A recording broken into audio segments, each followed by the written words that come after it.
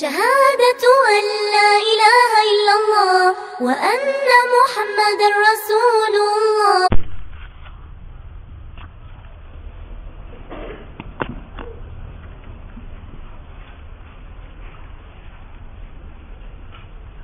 وتتابع الإضافات.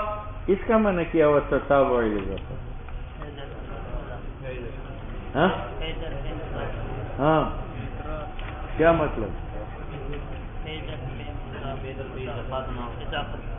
ہاں۔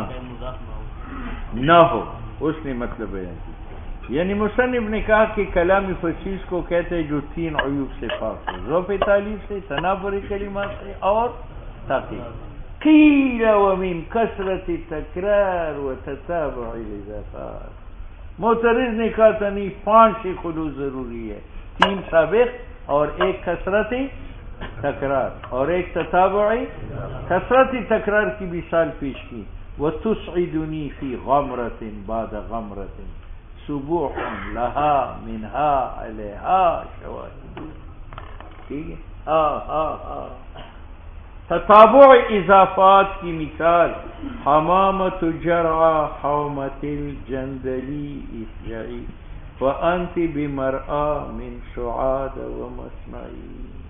ومسمعی ومسمع آپ کو معلوم ہے یہ جزلہ تجزا کی بیوی اس کی؟ بیوی یہ گجرا والا آ رہا تھا، یہ اکیلی تھی، وہاں ایک کبوتر بیٹھی ہوئی تھی۔ کبوتر؟ تو اس نے آتے وقت کبوتر کو کہا، حمامہ، اے کبوتر جرآ پتریلی زمین کی حما ریتلی زمین کی، جنگل پہاڑی زمین کی، اس لیے تو باتیں کرو فانت بمرآ من سعادہ تو ایسی جگہ میں بیٹھی ہے کہ میری بیگم سعادت تجھے دیکھتی ہے، وہ مسئلہ اور تیری بات سنتی ہے۔ میرے آنے تک اس کو مشغول رکھو، میں آؤں گا تو سنبھال لوں گا۔ ٹھیک ہے یا نہیں؟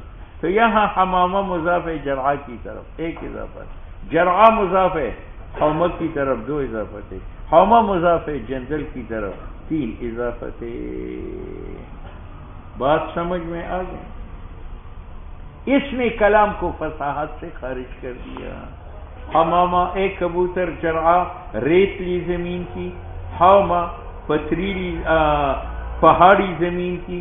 جنگل پتریلی زمین کی۔ اس جعی تم بھولتی جا۔ فان سے بے شک تو بے مرآ ایسی جگہ میں ہے جہاں سے دیکھتی ہے تجھے سعادہ۔ وہ مسمعی ایسی جگہ میں ہے جہاں بول کر سعادت تیری بات سن رہی ہے۔ خود کہتے ففی ہی شعر میں اضافت حمامی کا ہے، کس کی طرف؟ دوسرا، اضافت جرعا کی ہے، کس کی طرف؟ تیسرا، اضافت حوم کی ہے، کس کی طرف؟ جرعا کسے کہتے ہیں؟ تو کہتے ہیں جرعا تانیس اجرا کا ہے خص رہا اس کو الف مقصورہ کے ساتھ پڑھا، لی ضرورت ضرورت ایک یعنی جرعا نہیں پڑا پھر وزن شیر کا خراب ہوتا ہے۔ وہی ارض ذات رم لینا جرعا اس زمین کو کہتے ہیں جو ریتلی ہو، لا تم بشو شیئا والحوما معظم شے اور حوما پہاڑ کو کہتے پہاڑی کو۔ والجنزل ارض ذات حجرتنا۔ ٹھیک ہے؟ اس جائی سجع حجیر الحمام، یہ آواز ہے کبوتر کا ونہ ہوا ہو فانت بمرآ فانت اس کا ایک معنی خلخلی نہیں کیا ہے، ایک علامہ کرتا ہے۔ علامہ یہ معنی کرتا ہے کہ ایک کبوتر، جہاں تو بیٹھتی ہے، وہ مرآ ہے سعادہ کا۔ یعنی سعادہ وہاں آپ کو جی۔ اور وہ مسما ہے سعادہ کا یعنی وہاں تیری بول کو سعادہ سن رہی ہے۔ تو حمامہ قاری ہوا اور سعادہ سامع اس لیے کہ فانتی بھی مرآ اے بے سترا کی سعادو سعادو تجھی دیکھ رہی ہے۔ وہ تسمعو اور سعاد سن رہی ہے۔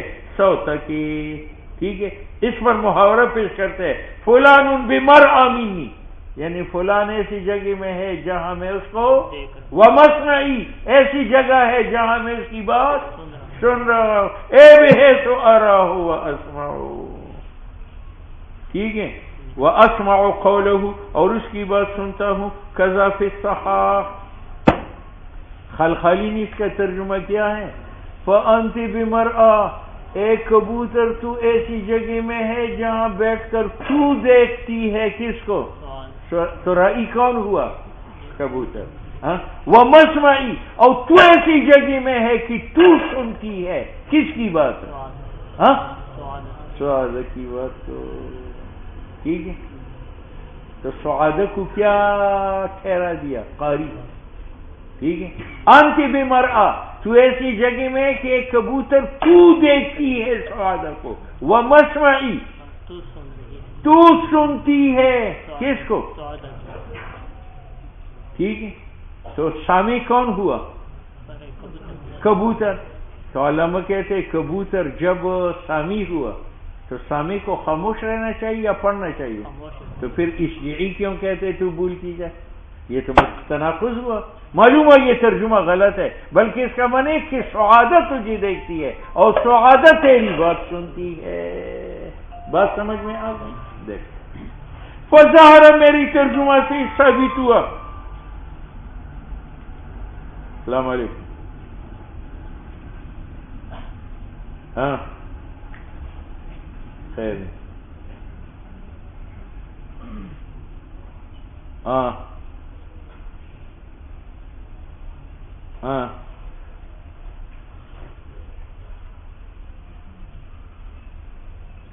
ها ها او محرم نه بغیر نشي کې او خا عیدت کې دا عیدت کې دا اها اها آہو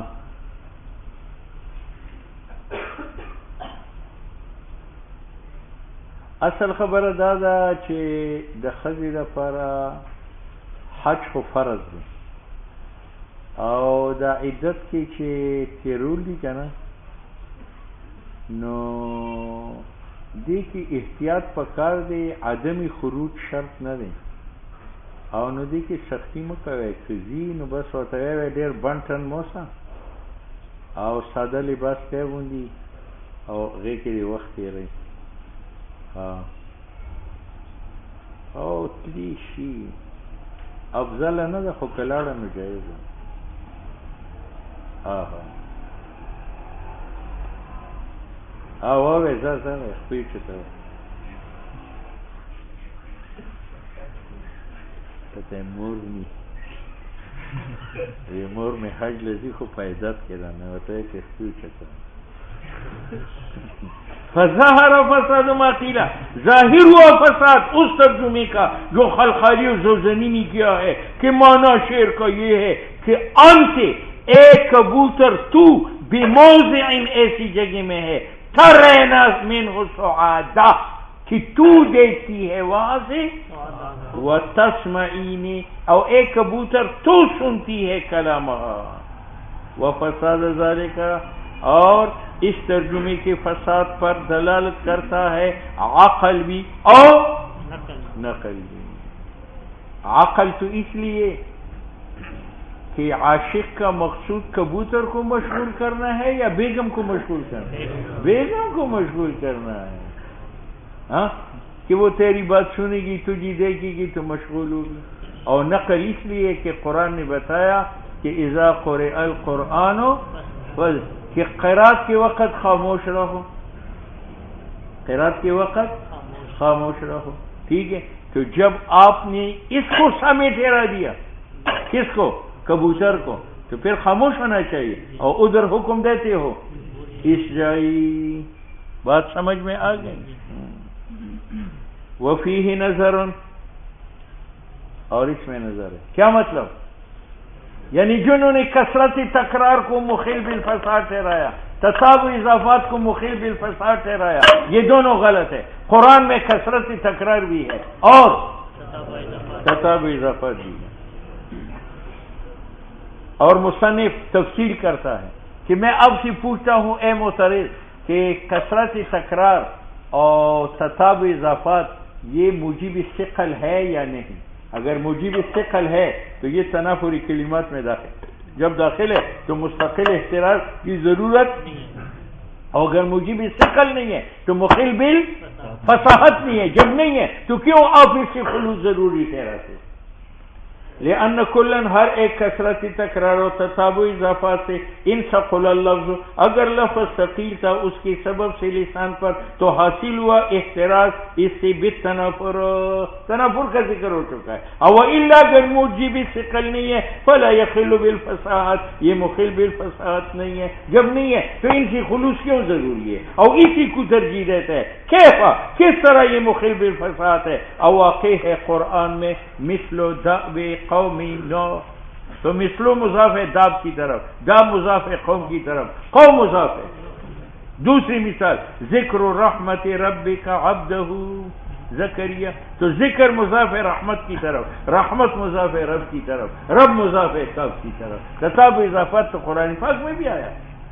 اور کثرتی مثال کی کثرتی تکرار کی مثال قرآن میں، ونفس وما سواها۔ فألهمها فجورها وتقواها والفصاحا ٹھیک ہے؟ اب دیکھو یہاں شعر میں تو تین آئے تھے لہا منہا علیہا شواہد تین آتے اور یہاں سواہا ایک الہمہا دو فجورہا تین تقواہا چار. آئے والفساد فی المتکلم. بس. تلخیص کے بعد اس کی پڑھنے کی ضرورت نہیں ہے لیکن وقت ہمارے پاس